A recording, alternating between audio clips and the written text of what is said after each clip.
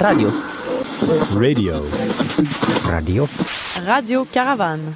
Le cirque sur les ondes.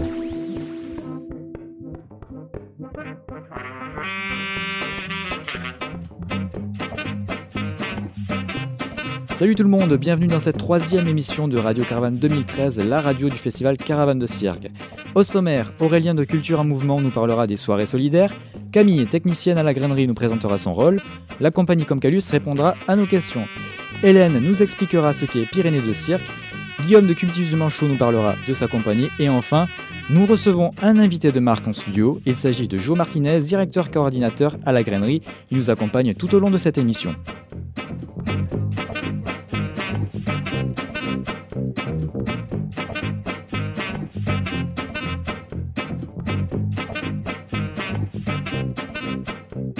Dans quelques jours débute euh, le festival Caravane de Cirque, c'est la dernière édition que vous portez et c'est aussi votre dernière année en tant que directeur coordinateur à la grainerie.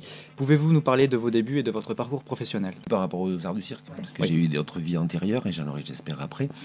Ce qui est intéressant de, de signaler, c'est qu'il y a les 30 ans du Lido euh, cette année euh, à côté, aux Argoulets. Enfin, il y a 29 ans, j'étais jongleur amateur. euh, passionné par le jonglage et pas par le cirque à ce moment-là. Euh, donc je suivais des cours au Lido, au Pont des Demoiselles à l'époque. Donc c'est venu de là et après ça s'est enchaîné rapidement. Il y avait très peu de jongleurs en France à ce moment-là. Nous avons créé une compagnie, euh, quatre personnes qui faisaient du passing. On a eu la chance, euh, puisqu'il n'y avait pas beaucoup de monde à ce moment-là, de tourner en France et en Europe. Et euh, ensuite, comme j'avais des enfants en bas âge, j'ai arrêté de tourner sur les plateaux et je me suis intéressé à la production de ces spectacles. Et j'ai travaillé toujours au Lido sur les premières compagnies professionnelles. Et de là, de fil en aiguille, en 97, j'ai- on a- la grainerie s'est créée. Je suis arrivé, moi, avec une, structure qu'on avait créée, Acolyte, qui s'occupait de la production, diffusion, gestion des, des compagnies qui étaient nées au Lido, dont les acrostiches, qui était la première.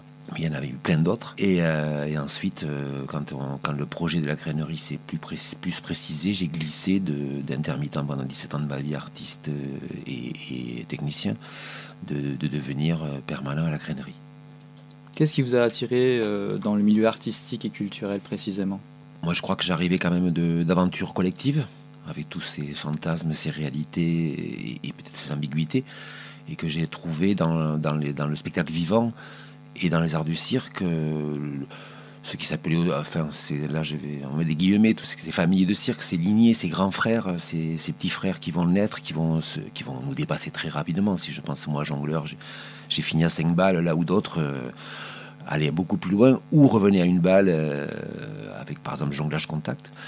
Euh, c'est, je crois, et je répète avec quelques illusions, bien évidemment, comme dans tout corps social, euh, sur le fait de travailler dans des équipes, de nous partagions tout dans la première compagnie où j'étais, comme plein d'autres compagnies. Les, les prises de risques étaient, étaient mutuelles. Et ça, ça m'a beaucoup marqué, mais je venais déjà d'un, parcours où on était dans ce genre euh, d'utopie. Vous êtes donc l'un des fondateurs de la grainerie. Parlez-nous des débuts de ce lieu. Pourquoi à l'époque cela vous paraissait important d'ouvrir un lieu de création autour des arts du cirque? Euh, moi, je suis arrivé pas dans les premiers à la grainerie. Je suis arrivé quand ils avaient fini de faire les cloisons à 7,50 m de hauteur. Donc il y a plein de, gens qu'on oublie qui ont monté des cloisons avec des caisses d'Airbus. C'était vraiment un très beau travail. Des, des cloisons à, j'ai dit 7 mètres, je crois que c'est 8 mètres et quelques, pour séparer ce lieu. Certaines parties, il y avait déjà les prémices de ce qu'on retrouve ici. Donc je tiens à saluer tous les, gens de Salto Branc, l'équipe de direction, la présidente, et aussi tous les bénévoles de l'association à ce moment-là qui ont fait ça. Moi je suis arrivé donc juste après, et nous étions dans un bureau. On sortait tous du Lido, eux compris, et on savait le besoin de, des compagnies professionnelles pour s'entraîner et pour créer, pour stocker, pour monter leurs chapiteaux, etc. etc. Donc on, a pu avoir en germe tout cela, renforcé par des compagnies historiques comme la Gîte, qui, avait des bureaux et qui en a toujours aujourd'hui, qui fait du théâtre itinérant sous chapiteau. Donc il y avait plusieurs intelligences qui se sont regroupées à ce moment-là, qui était un bon moment, la fin du XXe siècle, sur ces réflexions. On sortait des années langues, c'est monté très rapidement à ce moment-là des financements, mais là on était plus dans la réflexion et comment les acteurs peuvent essayer de s'emparer de leur futur. Comment a évolué la grainerie depuis jusqu'à aujourd'hui? Euh, la grainerie, on a vécu quatre, euh, quatre déménagements. On est dans le dernier. Euh, on est parti d'un lieu alternatif à peut-être un lieu aujourd'hui institutionnel. Je, je quitte ce bateau qui est dans de bonnes conditions architecturales, qui n'est pas encore euh, bien bétonné côté financier. Il y a une crise mondiale, il y a des arbitrages, il y a des choses comme cela qui sont compliquées. On est dans un bâtiment qui permet à des gens de travailler dans de meilleures conditions. Et on a surtout cette salle d'entraînement aussi qui permet, qui est rare, euh, avec un trapèze grand volant, qui permet à des gens de s'entraîner dans de bonnes conditions. C'est encore des choses qui sont trop rares en France, ces, ces espaces-là. Pourquoi avoir choisi ce nom, la grainerie?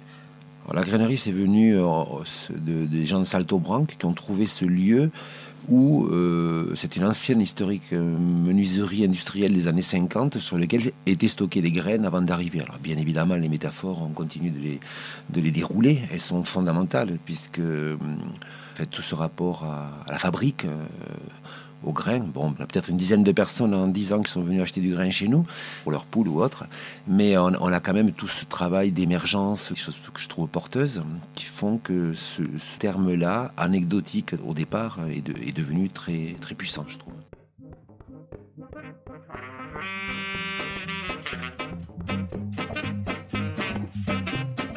La compagnie comme Calus a répondu aux questions de Julien, Aurella et Sarah.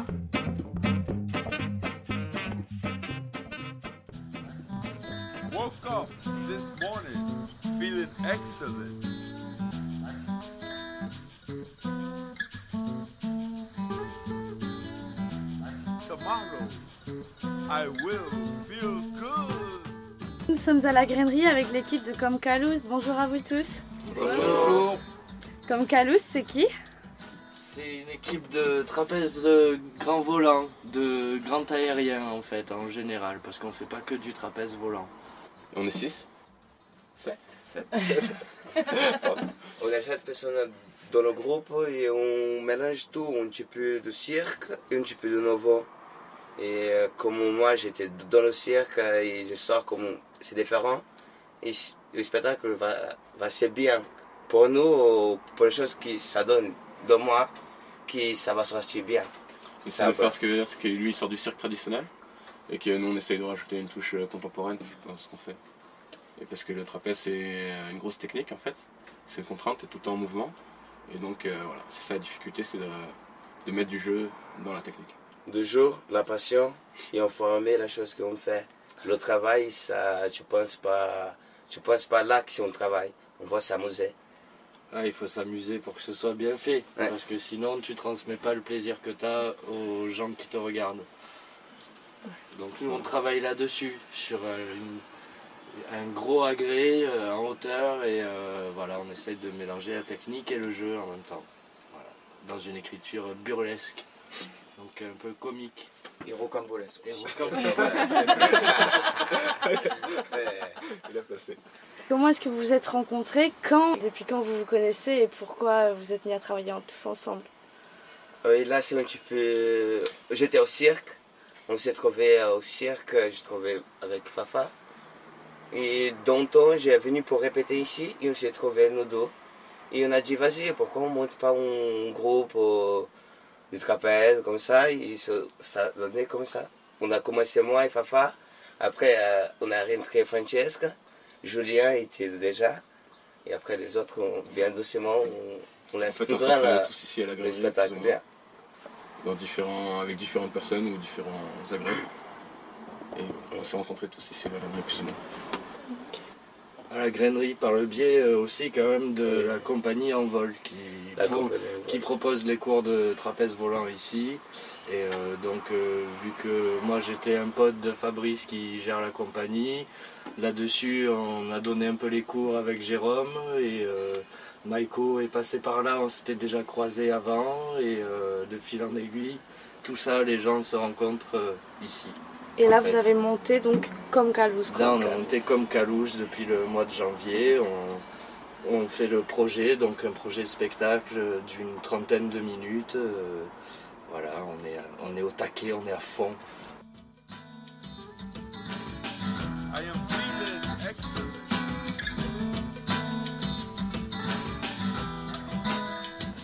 Con Carlos, c'est une phrase en portugais qui on dit que les oiseaux ils volent avec les ailes. Mais nous, que trapézistes, on vole avec les calos. En português, os pássaros voam com asas e os trapezistas voam com os calos. ce qui veut dire? C'est le calus qu'on a dans la main. On a plein de cales à la main. Ah, d'accord, ok. Pour la barre. grâce à nos cales. En grâce à notre cal, Tandis que les on oiseaux peut. volent avec des ailes. Pourquoi vous avez choisi euh, ce genre de trapèze, euh, le grand volant? Pourquoi Apparemment, je sais qu'il y en a de plusieurs sortes. Pourquoi vous avez choisi celui-là? Ah, ben ça, c'est euh, comme euh, la personne qui choisit la corde. C'est une question de goût. Nous, on aime bien quand ça fait des guillis dans le ventre. et quand t'as les jambes qui flagellent un petit peu dans le filet. Donc, euh, du coup, on aime quand c'est haut, quand ça va un peu vite.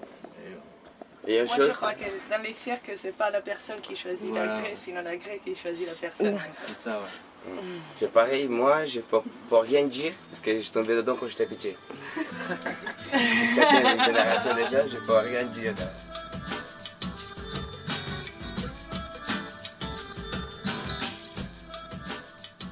partie de la compagnie OQC Focus et Mhm. qui s'occupe de la mise en scène, qui nous donne un coup de main pour tout ce qui est du jeu. Et après, euh, après il n'y a aucune contrainte, c'est nous qui choisissons, euh, c'est nous qui donnons les idées, plus ou moins. Parce qu'on sait, comme Calus, en fait, c'est un travail de groupe. On essaye de, de laisser l'espace à chacun, que chacun puisse s'exprimer, ce qui n'est pas facile. On est 6 7. Du coup, on a fait deux semaines de, de résidence et on présente le spectacle, enfin, une partie de ce qu'on a bossé le 29 mai à la grainerie à 19h. À 19h. Et pourquoi vous avez choisi la grainerie comme lieu de représentation? Comme Calous s'est créé à la grainerie, si tu veux. Donc, euh, en plus, la grainerie est une des seules salles de France, voire d'Europe, qui a ce pont aérien en intérieur. C'est euh, quelque part histoire de faire honneur un peu à la grainerie, qui a ouvert euh, un trapèze magnifique en intérieur. Euh, Un trapèze, on s'y trouve ici. S'il y a une troupe de trapézistes français, c'est bien que ça sorte de la grainerie. Ça fait euh, un bon compromis, je trouve. En plus, on est à Toulouse, de création du trapèze volant. Et oui, le trapèze volant a été créé il y a 150 ans à Toulouse. Je vais vous demander, la pause spectacle, du coup, se passe en extérieur ou vous faites aussi des spectacles en intérieur? Pour l'instant, on joue euh, en extérieur parce qu'on a euh, accès à une structure euh, mise à part dans la salle d'entraînement, mais c'est une salle d'entraînement, c'est pas une salle de spectacle hein, à la grainerie. Donc, du coup, nous, on a une structure extérieure sur laquelle on peut proposer des spectacles. Après, par la suite, euh, force de faire des spectacles, on aura les moyens d'avoir une structure intérieure. Puis là, on jouera dans, dans des théâtres. euh, à Las Vegas. Avec Céline Dion. Du coup, vous préférez quand même jouer en extérieur, non? C'est pas la même chose. Mais après, ouais, si on veut jouer tout en extérieur, le problème c'est que l'hiver il faudra partir. euh, à Vous pouvez partir L'extérieur c'est bien parce que tu te sens plus voler en fait, vu que t'as pas de toit et euh, t'as que le ciel quoi. Le ciel et la terre, le vent dans les oreilles, c'est plein de nature tout ça. Tandis qu'il y a quand même la contrainte euh, après des intempéries. Par exemple, ça fait euh, deux jours qu'on peut pas répéter à l'extérieur parce qu'il pleut. Donc euh, on est soumis à ça. Donc c'est sûr qu'on a un confort justement à pouvoir jouer.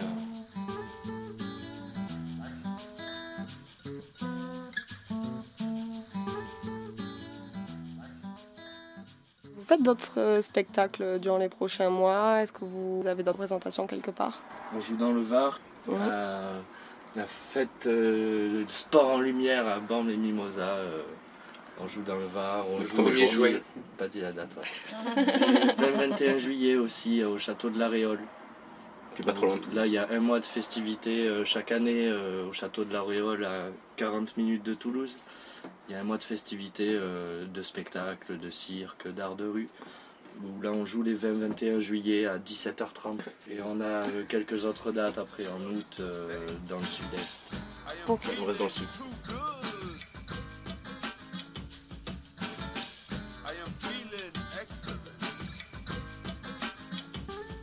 Vous proposez des stages d'initiation pour euh, les trapèzes. Pourquoi vous avez décidé de faire ça Pour partager. Parce que tu peux pas faire du volant tout seul. Pour faire du trapèze volant, il faut au moins trois personnes. Tu as un porteur, un voltigeur et une personne qui remet la barre. Donc si tu partages pas cet art, il n'y a personne qui va le perpétrer et tu vas pas pouvoir avoir plus d'acolytes. Tu vois, quand tu fais du jonglage, tu es tout seul. Donc tu peux apprendre tout seul dans ta chambre. Le trapèze, t'as pas le choix. Faut Dans ta chambre, déjà, tu peux pas. Et aussi, ici on fait pas important des- de partager. Et si on fait rien, le trapèze va finir. Si on donne pas de cours, si on fait rien, si on parle pas, on montre pas le trapèze, tout le monde va oublier. Et ça, c'est une chose qu'on ne veut pas. Mais c'est vrai que c'est une discipline en fait qui est euh, généralement qui vient du cirque traditionnel et qui n'est pas forcément accessible. Et à Toulouse, c'est un des seuls lieux en fait où ils proposent des cours et des stages pour les gens lambda, qui des gens qui font pas de cirque, etc. Et donc euh, voilà, c'est super de toucher une technique qui, est normalement réservée euh, à une certaine euh, classe d'artistes.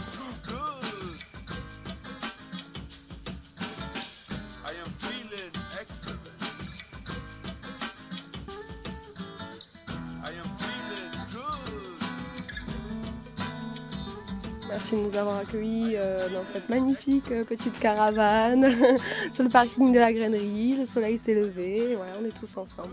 Au revoir. Et il y a le 29, hein, c'est ce que le 29. 19h, 19h, à 19h à la grainerie. À bientôt. À bientôt chez Con Carlos. Chez Con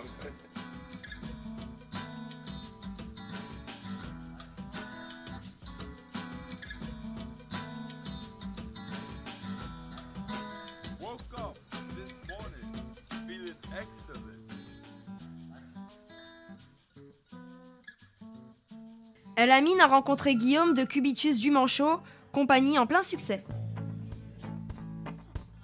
Je suis Guillaume. Bon, il se trouve que je suis de Toulouse, euh, originellement de- du Lido. Donc, euh, je suis acrobate. Moi, la compagnie est composée d'acrobates et de musiciens. Le Cubitus du Manchot, qu'est-ce que c'est exactement C'est un trio euh, d'acrobates qui se sont retrouvés proches de l'école de cirque de Nîmes, Turbule. Suite à ça, ils ont eu euh, la ville de Mulhouse en 2009, euh, je crois, leur a donné une carte blanche. Ils s'en sont servis pour euh, monter un collectif euh, de 15 personnes, acrobates comme musiciens. C'était plutôt un coup de folie, euh, monter une compagnie comme ça à 15, euh, sous chapiteau, euh, c'est très compliqué, très lourd à gérer. Et ça a très bien fonctionné, ils se sont très bien entendus, ils ont décidé de poursuivre l'aventure en, de- en 2010 et ça les a menés jusqu'à aujourd'hui et encore l'année prochaine à, faire des spectacles partout où ils peuvent. Quelles sont les inspirations des artistes pour ce spectacle? C'est un spectacle qui a été produit pas par un metteur en scène, mais par l'ensemble des artistes. hein. Ça naît vraiment de l'intérieur des, artistes. Il n'y a pas eu, je pense, un fil conducteur au départ. Chacun a amené un peu sa- ses petites idées, ses flammes, tout ça. Et ça, porte vraiment aussi sur les euh, performances circassiennes de chacun. Donc il y, a, eu dès le départ la volonté de ne pas mettre d'aérien. C'est vraiment un spectacle acrobatique. Euh, Les disciplines sont euh, le main à main, les portées, la bascule, la roue cire. Et après la musique qui, a vraiment, qui est omniprésente dans le spectacle et qui a une grosse partie euh, du spectacle. D'ailleurs, euh, les artistes du spectacle forment euh, eux-mêmes un orchestre qui est l'orchestre du Manchot qui jouera aussi le 31 mai après le, le spectacle. Donc vous direz que le Cubitus du Manchot est un groupe assez hétérogène, mêlant des artistes d'univers différents et mêlant un art différent? Essentiellement, les univers sont la musique et le cirque, mais au sein du cirque, les artistes viennent ont différentes formations, différents euh, euh, vues artistiques, c'est euh, viennent de différentes écoles, ont différentes disciplines. Après, euh, géographiquement, la plupart se sont retrouvés vers Nîmes. Moi, je suis de Toulouse et euh, deux artistes sont euh, de Belgique. Et, et vous, que faisiez-vous avant le Cubitus du Manchot? Avant, bah, je travaillais pour d'autres compagnies, euh, d'autres cirques. J'ai été formé d'abord au Lido, puis ensuite à l'École nationale de cirque à Montréal. Travaillé pour des cirques là-bas au Canada, puis le cirque Plume en France pendant 5 ans, et aussi des compagnies canadiennes comme les Sept Doigts de la Main. Et je travaillais juste avant pour le cirque baroque. Et c'est comme ça que le groupe vous a découvert Certains artistes de la compagnie, dont un des membres du trio, étaient euh, en même temps que moi à l'École nationale de cirque à Montréal. On était euh, dans la même promotion. Et l'artiste que je remplace également. Et euh, on avait formé à l'époque un numéro de bascule. Donc c'est sachant que je faisais la bascule et ne, se connaissant, cet artiste m'a demandé de le remplacer.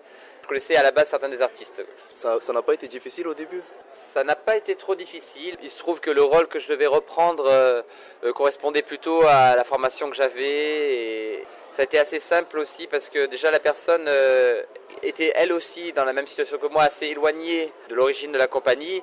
Par conséquent, j'avais moins de choses à apprendre pour reprendre le rôle parce qu'il a fallu apprendre très vite. De spectacle en spectacle, j'ai trouvé ma place petit à petit parce que reprendre un rôle, c'est jamais facile. C'est toujours l'empreinte d'une autre personne. Euh, mais tout doucement, j'arrive à, tout en gardant l'origine de son rôle, à donner un peu de ma, de ma nature à moi aussi. Chaque artiste apporte sa touche personnelle, chaque rôle, chaque euh, individualité est présente. Ça vient vraiment, la création vient vraiment des artistes eux-mêmes. Chaque euh, rôle est tenu par un artiste qui a voulu ce rôle et on ne lui a pas imposé. C'est vraiment sa création propre à lui.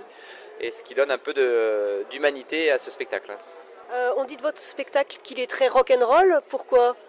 Ça se ressent beaucoup dans l'énergie du spectacle, d'une part, et dans la musique. Vous allez voir qu'il y a vraiment euh, pas mal de peps, on va dire.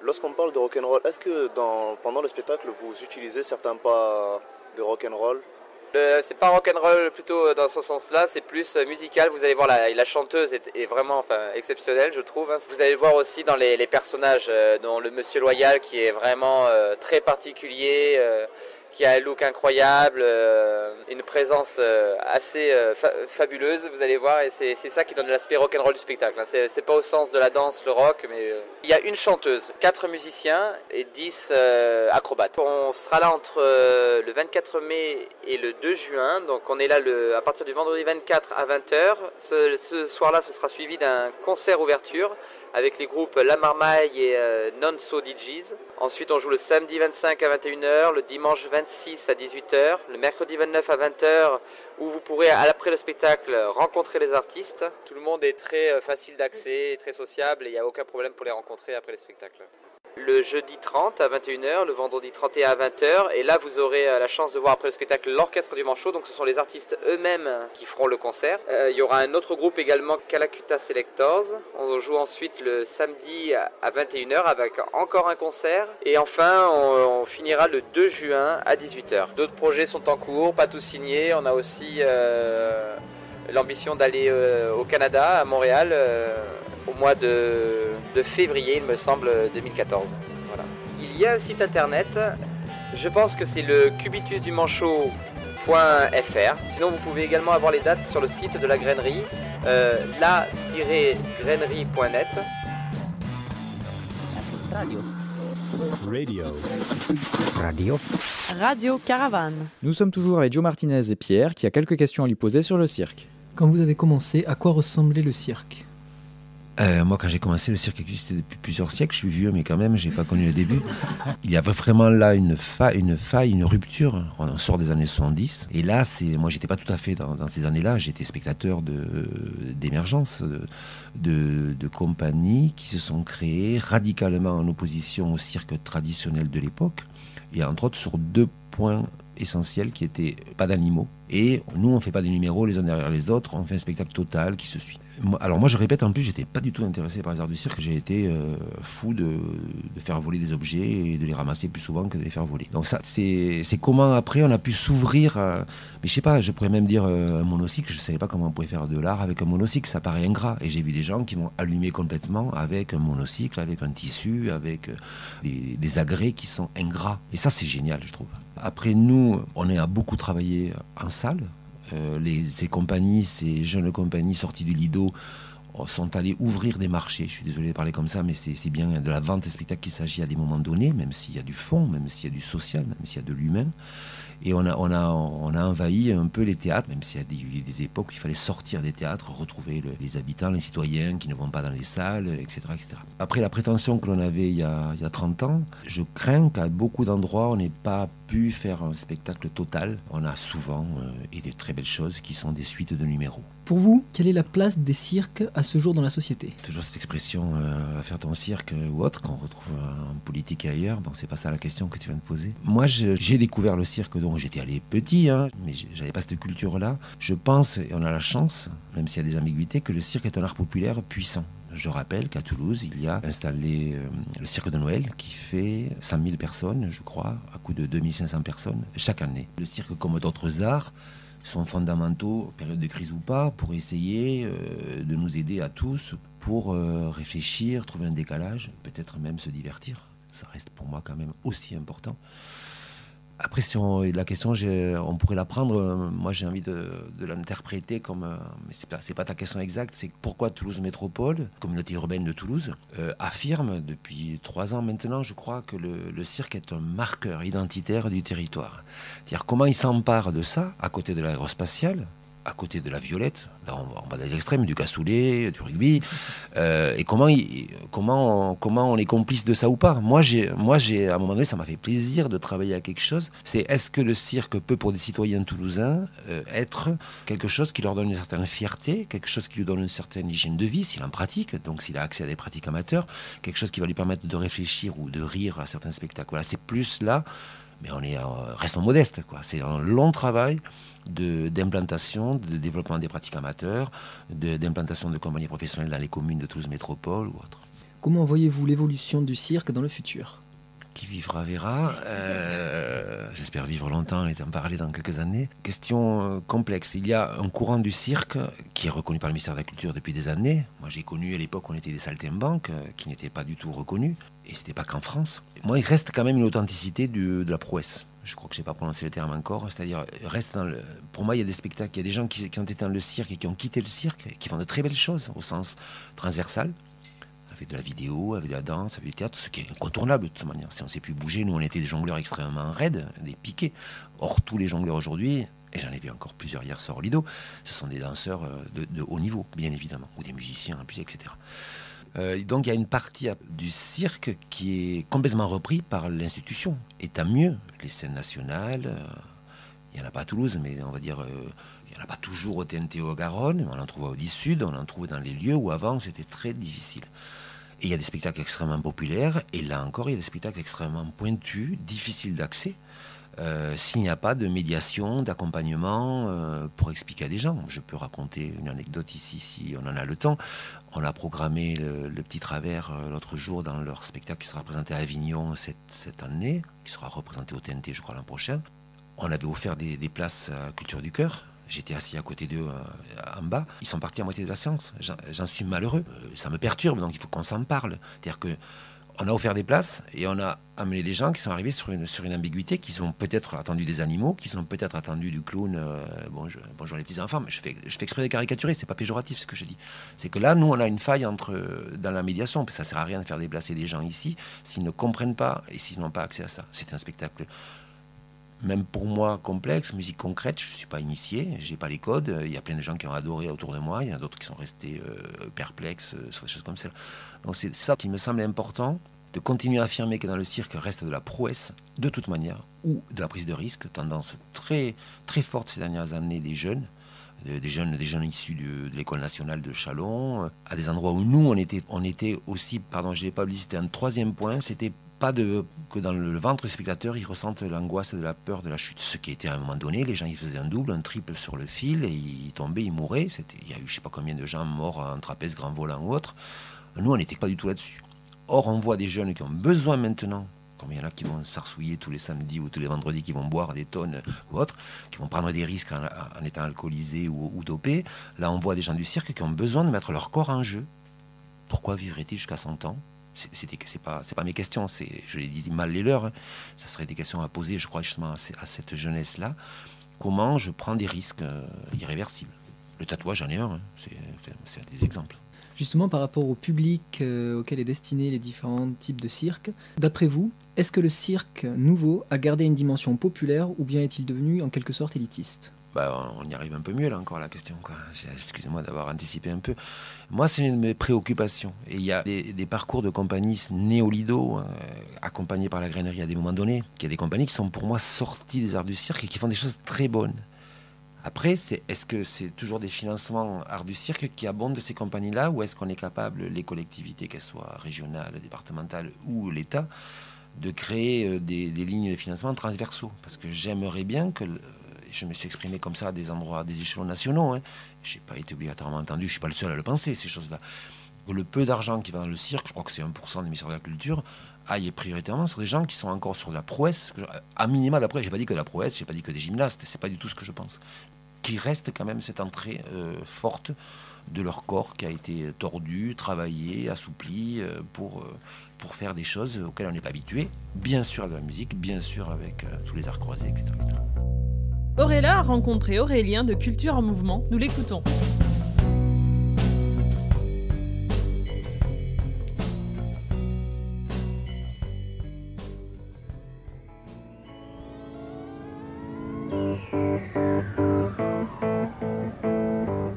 Nous sommes à la grainerie avec Aurélien de Culture en Mouvement. Euh, Aurélien, peux-tu me présenter euh, Culture en Mouvement en quelques mots et ta place euh. Alors, Culture en Mouvement, c'est une, association qui existe depuis euh, un peu plus de 5 ans, qui, euh, qui fait de la culture partout, surtout là où il n'y en a pas. Et euh, du spectacle vivant essentiellement, enfin principalement parce qu'on fait aussi de, l'installation plastique, de la scénographie et plein d'autres choses dans le domaine de la culture.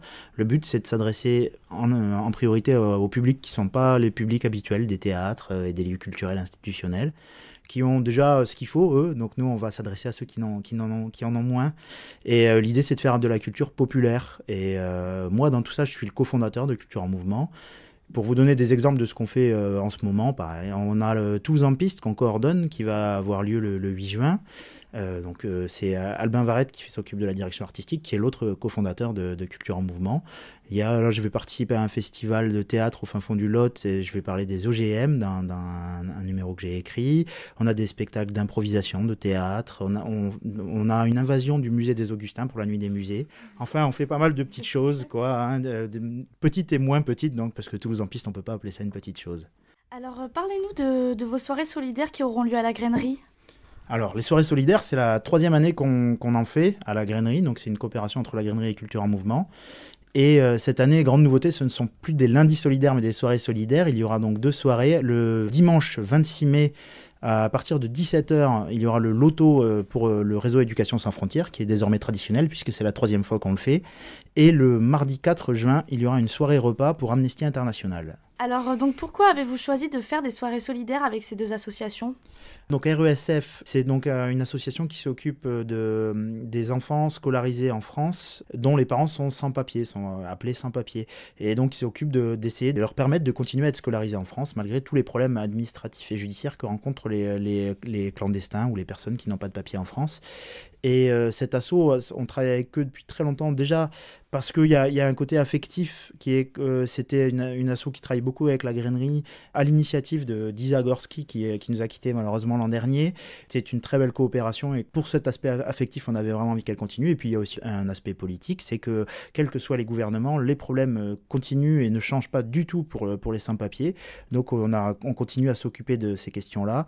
Et le loto, euh, c'est pour nous un vrai clin d'œil. euh, c'est de l'humour un peu noir, un peu grinçant, mais pour dire qu'aujourd'hui, avoir des papiers en France, c'est une loterie. Quant à Amnesty, c'est euh, la première fois qu'on travaille avec eux. Il y a, plusieurs raisons. Ben, encore une fois, leurs engagements. hein. C'est une association qui défend les droits sociaux, euh, mais surtout euh, les journalistes, la liberté de la presse, la liberté d'expression, la liberté des femmes. Enfin, plein de questions très intéressantes en France et dans le monde. Et euh, la peine de mort, notamment, j'ai beaucoup travaillé avec eux sur, autour de la peine de mort. Enfin, ils défendent l'abolition de la peine de mort, bien entendu. Et sur Toulouse, ils sont très actifs. Sur Balma aussi. Et on voulait, euh, on voulait avoir un, un- appui local euh, pour pouvoir aussi travailler avec les, les habitants de Balma, avec les associations de Balma. Donc Amnesty était, correspondait totalement, surtout que c'est des gens qu'on connaît, qui sont motivés, qui sont, qui sont investis, et c'est très sympa de travailler avec eux. Donc, le programme de vos deux soirées, donnez-nous envie de venir vous voir. Alors, la mission n'est pas trop dure parce que vraiment, c'est des soirées super sympas. Le loto, bon, c'est comme un loto, mais en mieux. C'est-à-dire que si vous n'aimez pas le loto, ben, euh, n'ayez pas peur, vous pouvez venir quand même. Il y aura des spectacles, il y aura de- une présentation totalement burlesque et des super lots culturels à gagner. Il y a beaucoup d'acteurs de la culture toulousaine qui s'investissent chaque année. Ah, euh, il y a beaucoup d'acteurs à gagner. oui. Mais euh, vous ne croyez pas si bien dire parce qu'il y, a- il y, a des- il y a des performances artistiques qui sont réalisées en direct pour les euh, gagnants des kines et des cartons pleins. c'est parfait. Donc euh, voilà, hein, on pouvait pas repartir avec le comédien de vos rêves. Par contre, a priori, bon, enfin ça, ça c'est votre votre problème. Mais euh, mais en tout cas, il pourra réaliser une performance devant vous et devant le reste des spectateurs. Tout le monde est un peu gagnant dans nos lotos. Et puis donc des, des places de théâtre, de cinéma, de concerts, des livres, des enfin plein plein de, de, de produits culturels, des restos aussi, des menus dans des restos. Tous les bénéfices reviendront à RESF, notamment sur le loto. Ça sert vraiment à lever des fonds pour eux. hein. C'est 3 euros le- le carton. Donc c'est pas cher et ça, pour euh, ce qu'il y a à gagner en plus et, euh, et c'est de l'argent qui ira directement pour aider RESF. Et euh, voilà pour le loto. Pour la soirée Amnesty. C'est un bon repas. hein. Le Jaco fait quand même de la, bonne nourriture, donc il y aura, un bon repas et euh, une présentation avec des petits spectacles, des petits sketchs, des interventions euh, sur les questions que porte euh, Amnesty, des films. Enfin, ce sera rythmé. Ce sera aussi l'occasion de discuter tranquillement, de passer une bonne soirée ensemble. Et Amnesty, c'est plus pour leur faire de la pub, pour qu'on parle un peu de ce qu'ils font. Et c'est pour ça que les tarifs sont, sont aussi très abordables. Amnesty, le repas spectacle, c'est 10 euros. Dans les deux cas, il y a un bar solidaire, donc avec des boissons pas chères, avec des petits, des petites, euh, de la petite restauration pas chère. Que dire de plus? Ben, Les deux fois, c'est à la grainerie, ça peut être l'occasion de découvrir le lieu. Voilà, je pense qu'il y a plein de raisons de venir, hein, du coup. Donc euh, peux-tu nous rappeler un petit peu les dates? Oui, alors le 26 mai, euh, le loto euh, pour RESF, le loto artistique et solidaire pour RESF, 3 euros le carton plus petite restauration. Et le 4 juin, mardi 4 juin, à partir de 19h, le- le- la soirée repas avec Amnesty International, 10 euros, réservation impérative avant le 31 mai. Et tout se passe à la grainerie. Dehors s'il fait beau et dedans s'il fait moins beau. hein. C'est pas, ce sera, il fera chaud, euh, il fera chaud dans l'ambiance. Il n'y a pas de souci. Nous invitons donc tous les auditeurs à venir participer à ces deux soirées euh, avec les associations RESF et Amnesty International organisées par Culture en Mouvement.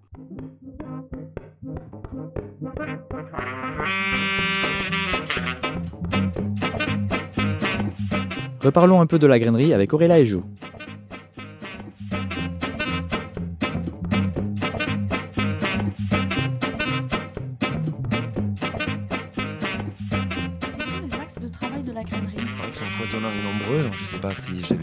répondre, je vais en oublier, mais euh, il y a d'abord celui de fabrique euh, fondamental, c'est-à-dire un lieu d'accueil d'équipes en travail, qui souvent, dans la première grainerie dont je parlais, même la 2 et quasiment la 3, comme on n'avait pas d'accès public, c'était ce qu'on appelle la partie invisible du spectacle. Donc c'est des gens qui viennent s'entraîner, qui ont besoin tout au long de leur carrière de continuer à entretenir leur corps, qui ne peuvent pas le faire chez eux. Des espaces de travail, souvent dans le cirque on est long, il nous faut deux ans pour créer. Euh, ça va jusqu'à deux ans pour certains, il y en a qui peuvent faire un moins. Donc euh, nous on a cet espace de travail ici, ce qui est beaucoup, et on a besoin d'espaces chapiteaux pour créer aussi encore une fois, avant de, de recevoir du public sous le chapiteau, c'est la même problématique. Euh, les axes pour la grainerie, c'était donc d'être au service des compagnies. Si je continue, c'est de stocker. Pour l'instant, vous ne le voyez pas ici, ça va arriver dans quelques jours et ça va d'ailleurs diminuer les capacités d'accueil du site, d'accueillir les containers, qui sont des containers marins, maritimes, qui permettent aux compagnies de stocker leurs décors. Vous voyez qu'il y a aussi des camions, tout cela, c'est pas très euh, glamour, mais c'est fondamental à, no- à notre travail, puisque fabrique des arts du cirque et de l'itinérance. Ensuite, il y a des bureaux de gestion. On n'en a pas assez, ils sont archi bondés, il y a plusieurs équipes dans chacun. Euh, et ça, c'est important parce que c'est l'intelligence de regrouper dans un même lieu des gens qui, de porte à porte, vont s'échanger des astuces de gestion, de taux de TVA, de partir à l'étranger dans tel pays, qu'est-ce qu'il faut des comme visa, etc. etc.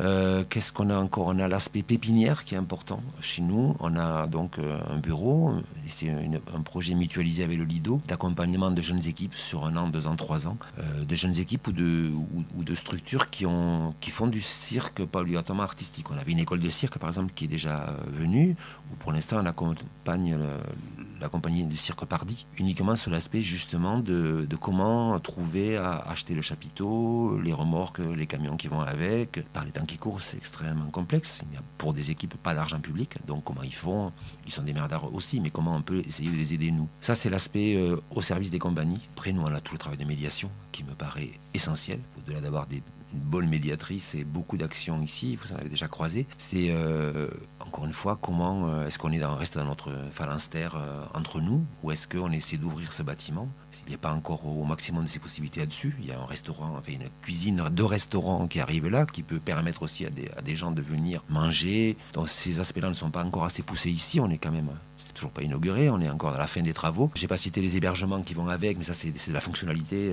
C'était inhérent pour nous à ce type de projet comme un bloc sanitaire, bien sûr. Et euh, nous, après, euh, qu'est-ce que j'oublie de, de force, c'est qu'on on a aussi des accueils de, des accueils de public, j'en ai parlé, mais aussi de soirées privées. Alors moi, j'arrivais peut-être au début avec quelques arriérés idéologiques là-dessus, mais c'est vraiment du tout public qui vient sur ces soirées privées, qu'elles soient faites par un comité d'entreprise, qu'elles soient faites pour fêter tel événement.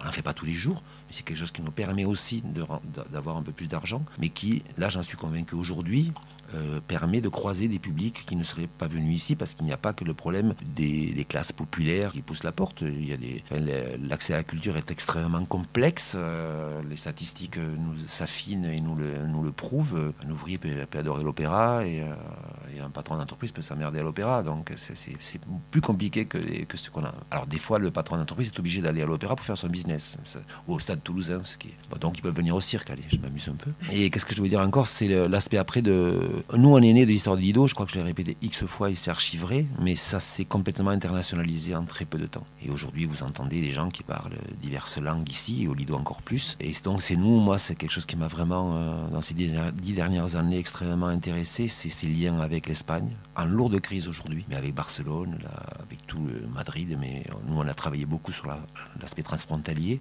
Ça sera réexpliqué, je crois, par d'autres mieux que moi ici. Mais c'est aussi Bruxelles, c'est aussi ces liens euh, avec d'autres. euh, ça, ça vous enlève des œillères, j'aurais tendance à dire. Ça règle pas tout. Mais là, nous, on a créé ce lieu grainerie pour permettre aux équipes sorties du Lido. Et on accueille majoritairement des équipes sorties du Lido, mais il y a d'autres équipes venues, euh, d'ailleurs qui viennent. On va accueillir des Malgaches, on a accueilli des Australiens, on a accueilli l'an dernier un mois et demi des, Américains euh, québécois. Et euh, c'est extrêmement important.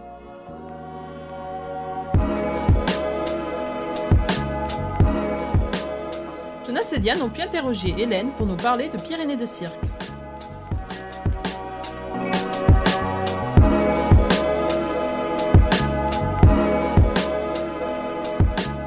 Je suis Hélène Métellier, je travaille à la grainerie euh, à la gestion des projets européens. Et Pyrénées de Cirque est un projet européen euh, transfrontalier euh, qui se déroule de 2012 à 2014, euh, qui réunit 10 partenaires en France et en Espagne.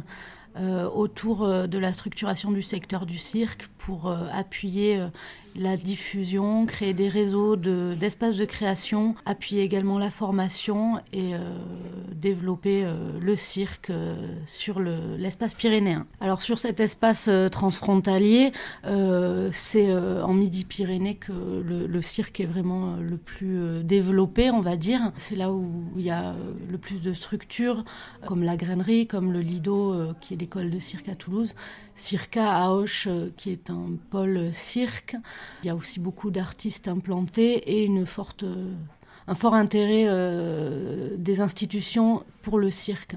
Ensuite, à Barcelone et en Catalogne, euh, le cirque est assez développé. Euh, C'est une des régions en Espagne où le cirque est le plus important. On a un partenaire privilégié à Barcelone, c'est la centrale del Cirque. Euh, c'est un lieu de création euh, cirque, une fabrique de création qui ressemble un peu à la grainerie, qui est un petit peu de la même taille. Euh, voilà. Ensuite, sur le, reste du territoire, à Bilbao, il y a des et au Pays Basque, en général, il y a des associations de cirque, plutôt jonglage, un peu plus émergentes que ce qui peut exister. Par ici, Euh, mais les pouvoirs publics programment aussi pas mal de cirques sur des festivals euh, de rue notamment. Et euh, voilà, donc du coup, le projet cherche à développer vraiment cet aspect-là au Pays Basque espagnol. Pour cette édition de Caravane de Cirque, euh, il va y avoir pas mal de programmation euh, en lien avec Pyrénées de Cirque. On va avoir euh, une soirée en partenariat avec l'association Convivencia qui va se dérouler à la Croix-Falgarde le 25 mai, samedi 25 mai, où là, ça va être la présentation de trois numéros de cirque. Ce sont des compagnies accompagnées par un dispositif d'aide à la diffusion de numéros qui s'appelle Chemin émergent. Donc on a un parcours cirque qui débute à 19h30 et qui se poursuit sur la soirée avec trois compagnies de cirque, puis euh, une fin de soirée en musique. Ensuite, dans le reste de la programmation euh, caravane, on va voir euh, les compagnies Fetama. Donc Fetama a reçu une aide à la création euh, de projets Pyrénées de cirque. La famille Goldini et Psirque, une compagnie catalane, qui ont été là accompagnés notamment par un bout de ce projet Pyrénées de cirque, qui est une extension avec le projet Eurorégional Process. C'est un petit peu un emboîtement d'accompagnement et de dispositifs. Et on va aussi pouvoir voir les, les spectacles de la Smart Company, de Nacho Flores. Euh, là, donc, vous êtes en Midi-Pyrénées. Et plus tard, vous avez prévu d'autres régions, d'autres endroits? Euh, oui, alors dans le cadre du projet Pyrénées de Cirque, cet été, on va avoir pas mal euh, d'événements euh, mis en lien. Donc plusieurs événements en France et en Espagne, toujours sur la zone transfrontalière, qui vont programmer des compagnies et des équipes artistiques qui ont été accompagnées par les différents dispositifs du projet. Enfin, l'ensemble de ces partenaires et de ces programmations peuvent être consultés sur le site de Pyrénées de Cirque, c'est pyrénéesdecirque.eu et on peut euh, télécharger euh, la programmation euh, de cet été.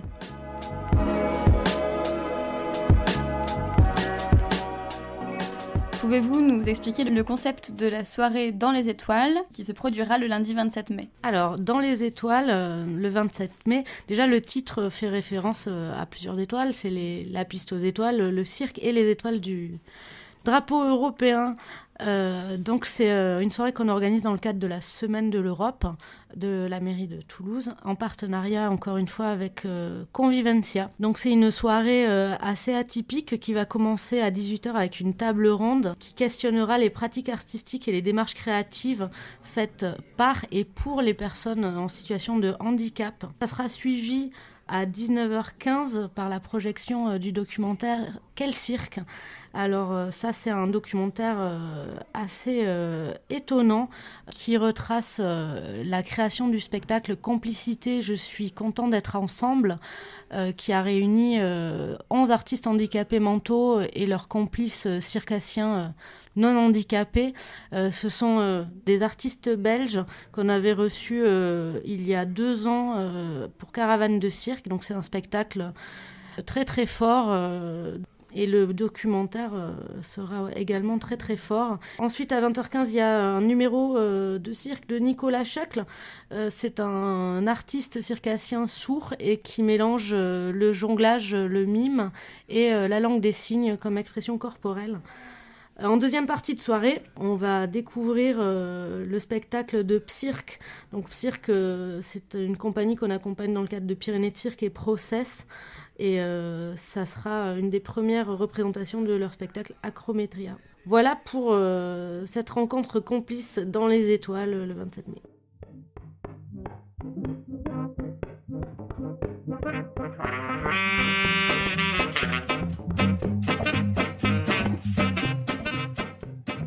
Sharon et Sarah sont allées voir Camille, technicienne à la grainerie.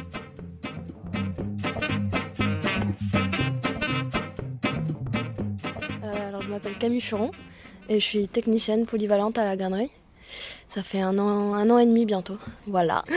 Euh, quel est ton parcours? Euh, J'ai passé mon baccalauréat il y a 3 ou 4 ans.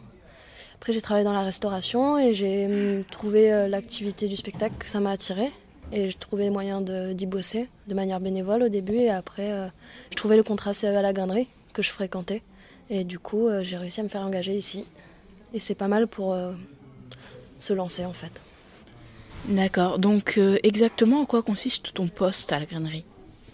À la grainerie, du coup, on travaille avec Michel et Cynthia, le directeur et la régisseuse technique.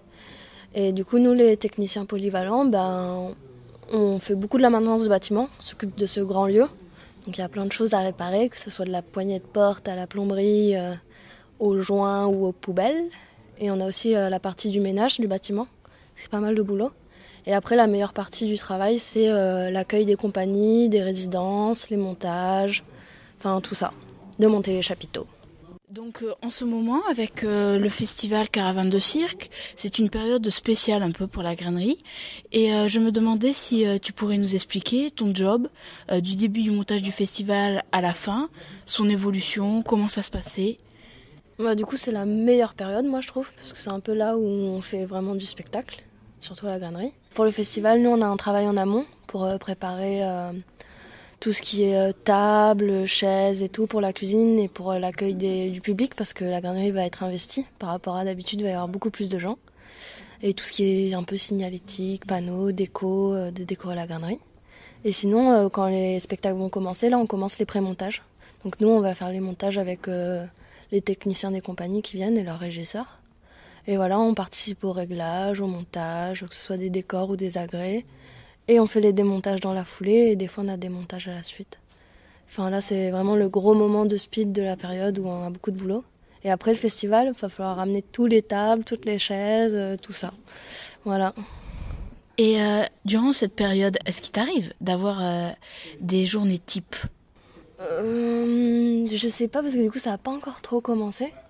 Mais euh, le type c'est que pour le moment là, la semaine est encore tranquille. On prépare en fait. On met les salles bien en place, on fait des pré-montages. Et sinon les journées types c'est on arrive et en général on a un tableau et on voit les missions qu'on a à accomplir. Et là on a eu notre planning pour caravane et ça va être surtout des montages, des démontages, du réglage, tout ça quoi. Et euh, tu sais, durant le festival, euh, en quoi va consister euh, ton job? À accueillir les compagnies, être là dans la salle s'ils ont des questions, enfin aider Cynthia et Michel. Et on participe pas au chapiteau cette année parce que c'est des bénévoles qui s'en occupent. Du coup, nous, on sera que dans les salles de spectacle. Et moi, j'ai la chance de faire une création avec euh, un, sur le spectacle des CM2 là, du Bean Circus. Du coup, je fais une création lumière. Donc là, je suis un peu privilégiée pour le festival sur ça.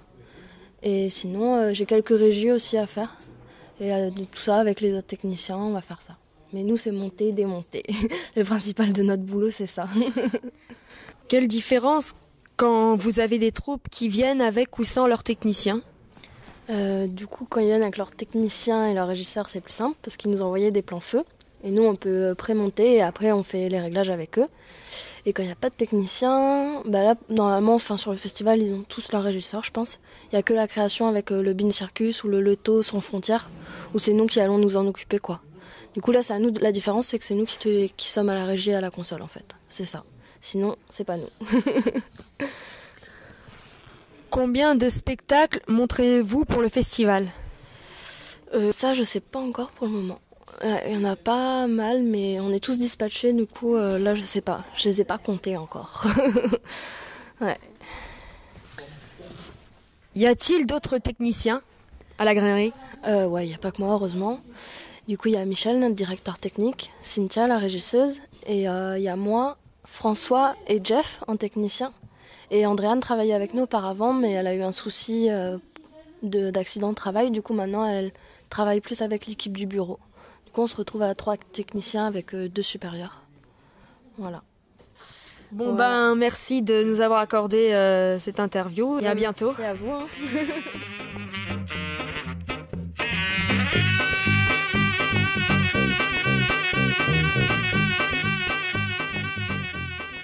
Comment la grainerie accompagne les artistes en création? Sur euh, nous, on est, très euh, timide, essentiellement pour des raisons financières. Euh, C'est-à-dire qu'on met des espaces à disposition, ça c'est l'aspect technique, pour que ces gens-là puissent travailler. Je m'aperçois que j'ai pas dit un seul mot sur l'atelier. S'ils sont en création, ils ont souvent besoin de décors, ils ont besoin d'astuces techniques pour leurs agrès de cirque. Donc on a un petit atelier, très peu équipé encore, mais qui est inhérent à la création. Donc ils ont des ateliers pas bien équipés et des espaces de travail assez intéressants, bien chauffés, à peu près insonorisés, euh, où ils peuvent s'enfermer à n'importe quelle heure du jour de la nuit, des jours fériés ou pas, et travailler. Ça, ça me paraît toujours important. Ensuite, si on regarde comment elle accompagne les équipes euh, de, la pépinière dont j'ai parlé tout à l'heure, on a des dispositifs plus poussés. On a une direction artistique qui vient les conseiller. On a une permanente qui, euh, qui vient les titiller, voir s'ils ont bien fait leurs devoirs. Je fais exprès de parler comme ça.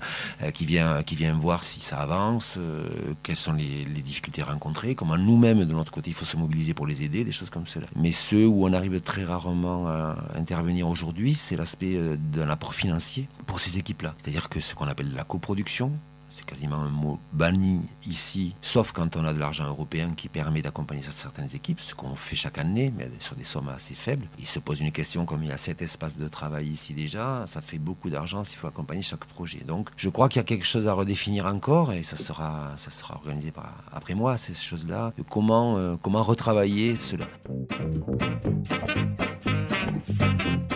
Comment la grainerie arrive à garder son indépendance dans la programmation artistique?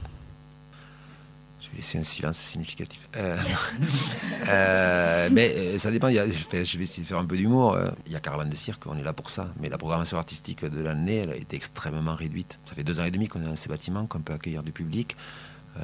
Dans le projet Grainerie, on croyait, quand on a fait dessiner les plans de la salle de création, moi je croyais que cette salle allait accueillir tous les mois une équipe en création et qu'elle allait rencontrer un public euh, 10-15 jours. On a fait un seul accueil euh, quasiment depuis, depuis même avant décembre sur euh, le petit travers que j'ai cité tout à l'heure, ce qu'on appelle les premiers tours de piste, c'est temps de rodage. Alors que notre désir et la demande des compagnies est bien plus forte. Là encore une fois, c'est des problèmes financiers qui nous empêchent de faire une programmation. Par contre, on accueille, on est reconnu et, merci au public qui est venu en masse euh, tous ces derniers temps, que ce soit sur Plume, que ce soit sur la famille Morales, que ce soit sur Pagnoso. Ces équipes sont à la recette. Donc, si le public ne vient pas, c'est eux qui prennent le risque, c'est même pas la grainerie qui n'en a pas les moyens. Donc, c'est que de, voir ces équipes repartir contentes, d'avoir pu jouer des séries, ce qui est rare en France, ce qui est extrêmement important. Pardon, là, on parle d'équipe avec chapiteau, ce que je n'ai pas précisé. Donc, on est sorti de la salle, on est sous chapiteau. Euh, C'est euh, c'est vraiment rassurant et j'espère qu'un jour, on pourra mieux accompagner ces équipes, bien évidemment. Comment qualifier l'investissement des collectivités locales dans le cirque ou dans un lieu culturel tel que la grainerie le monde change, les collectivités, euh, les, les- le millefeuille de, de l'empilement. euh, alors en gros, il y a, il y a la commune, il y a, il y a la, la communauté urbaine, il y a le département, il y a la région, il y a l'euro-région, que j'allais oublier, il y a l'État, puis il y a l'Europe. La crise fait que euh, enfin, il y a des choses à redessiner. On- Là, actuellement, il y a des problématiques entre euh, la communauté urbaine et le département euh, de, redéfinition des charges des uns et des autres. Bien évidemment, un département qui, s'occupe pour l'instant de la solidarité, qui lui va essayer de lutter pour le garder, il a beaucoup, beaucoup d'argent qui part sur le, sur le RSA, sur des choses comme cela. Donc il en, a, moins, il essaye de sauvegarder sa culture, mais il ne peut pas aller, aller plus loin. Donc il y a des redéfinitions comme ça. Ensuite, euh, il y a une écoute euh, bienveillante, et ils ont tous repéré les arts du cirque, euh, aussi bien. Euh, la ville de Balma, la ville de Toulouse, euh, la communauté urbaine, le département, la région, euh, marquent tous le cirque comme un élément important. Et c'est vrai que euh, ça a permis à, des, grands créateurs reconnus internationalement euh, d'écrire, euh, de tracer leur sillon. Et moi, je rajouterais aussi à des artisans euh, plus modestes euh, de, travailler. Moi, je ne cherche pas que, les meilleurs. Je cherche à ce que, dans ce qui est possible, des gens qui ont les capacités de travailler. Enfin, je répète toujours le même exemple. Il y a besoin de boulangers dans tous les quartiers, dans les communes. Il n'y a pas besoin toujours du meilleur boulanger de France. Et comment on fait que les boulangers ont de la bonne farine, etc. etc. Pas transgénique.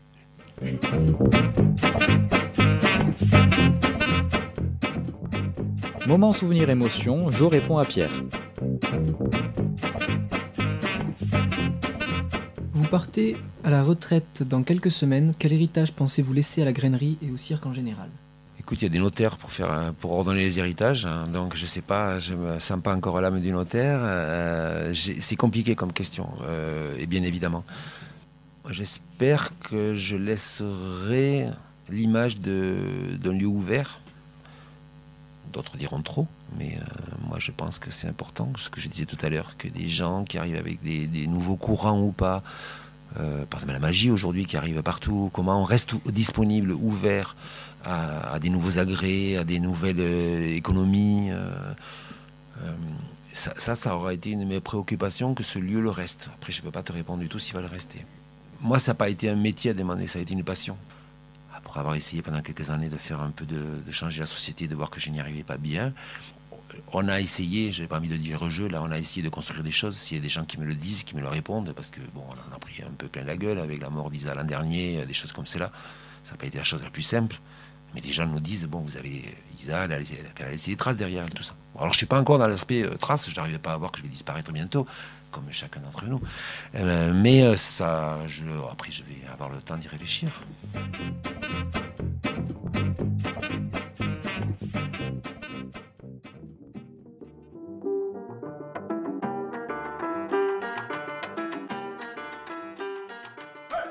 Le festival Caravane de Cirque approche à grands pas. Pouvez-vous nous parler de l'événement, de la programmation et des artistes à l'affiche? Vos coups de cœur notamment Euh, je pense euh, que le cubitis du manchot, puisque je parlais euh, d'Isa encore. Alors Isa, c'est Isa Gorski, qui était salariée grainerie, première salariée grainerie, et qui a été victime d'une d'une maladie, une saloperie de maladie il y a un an. Et euh, elle a essayé de faire venir il y a trois, il y a deux ans, euh, le Cubitus du Manchot qu'on avait accueilli sous une forme d'un trio à l'époque, un super spectacle péchu. Euh, on essayait il y a deux ans, il y a un problème de calendrier de musiciens de cette compagnie, on n'a pas pu y arriver. Donc là, il y a un petit hommage sur ce gros spectacle de 15 personnes au plateau. Alors, ils sont fêlés complètement, en pleine période de crise, quand on sort d'un trio, de, faire à 15 et de, de prendre en plus un chapiteau. Mais ils y sont arrivés et ils ont développé ce spectacle. Donc on va l'accueillir sur c'est un des gros événements du, festival. Euh, huit, séances, c'est celui qui est le plus copieux. Donc ça va se passer à la grainerie ce chapiteau. C'est un spectacle qui m'a paru important d'amener. Voilà, ça c'est déjà une chose. Après, moi, il y a un autre spectacle qu'on avait, euh, ça fait deux ans qu'on essayait aussi de l'amener, c'est Boustrophédon, qui est une compagnie qu'on avait accueillie trois mois ici euh, de, de- de création sur la fameux deux ans. Et là, on a, on a failli jusqu'au dernier moment ne pas y arriver encore une fois cette année. Et je suis vraiment content au dernier moment, suite à une, difficulté de dernière minute euh, avec Unio, où il y avait vraiment un très bon accueil, la maison de retraite, on se connaissait déjà, parce qu'il faut des, faut des personnes âgées qui viennent sur le plateau avec les trois artistes. Euh, sur cette dernière difficulté, on a pu rebondir. Moi, j'y croyais même plus. Mon énergie s'émousse. Il est temps que j'arrête. Mais Lucille, pour la nommer, a retrouvé à Pembalma avec euh, la maison de retraite médicale, le contact. On a pu à l'arrache le refaire. Et je, vraiment, je suis content que ce spectacle tiens, qui va, concerner les plus que retraités. Euh, comme je vais être un néo-retraité, est-ce que je vais travailler mon futur? Est-ce que je vais faire. Voilà, non, j'essaie de faire un peu d'humour là-dessus, mais je suis vraiment content de cela. On a parlé de trapèze volant, comme Calus, va être là la première semaine. C'est une étape de travail, mais c'est fondamental de voir ces, quelques Français, Italiens et Brésiliens euh, faire euh, des prouesses et comment ils vont faire de l'art après. C'est ça qu'on va réfléchir, mais ça, ça me paraît important. Attention, ils ne seront qu'un jour sur les deux annoncés sur le programme, puisque l'inauguration euh, est repoussée à septembre. Nous avons appris récemment. Et euh, moi, hier soir, j'étais au Lido et j'ai revu un extrait de Bizarre Concept qui sera au théâtre. Les trois dans le spectacle dont j'ai parlé sont à la grainerie. Bizarre Concept sera euh, au théâtre du Grand Rond. Et je prends des fous rires euh, comme. euh, sur, le, sur leurs leurs travaux. Le, le- le spectacle n'est pas encore fini. Il y aura deux, fois 20 minutes. C'est un travail euh, complètement fou à base de, balles euh, qu'il évite avec ses cheveux. Et j'étais pas le seul à rire hier soir, je peux vous le garantir. Et euh, ils sont aussi avec euh, Thibaut, Thibaut tout court et, et Dorembus, qui sont dans un revival des années 70. Je sais pas, l'affiche est horrible. Ils ont des perruques, des cheveux longs comme on avait à ces époques-là, des guitares électriques ou autre. On va voir ce que ça donne et les balles rebondes de Thibaut. Ça, ça me paraît des belles soirées avec nos partenaires du théâtre du Grand Rond. Merci Joe de nous avoir accordé de votre temps et très bonne continuation. Merci à vous, bientôt j'en aurai beaucoup plus. Merci.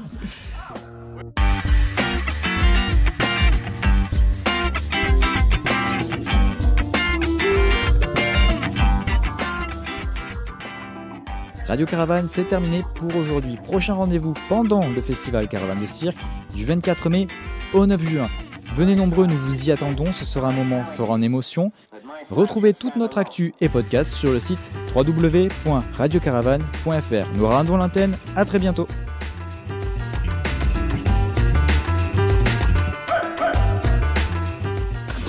Radio.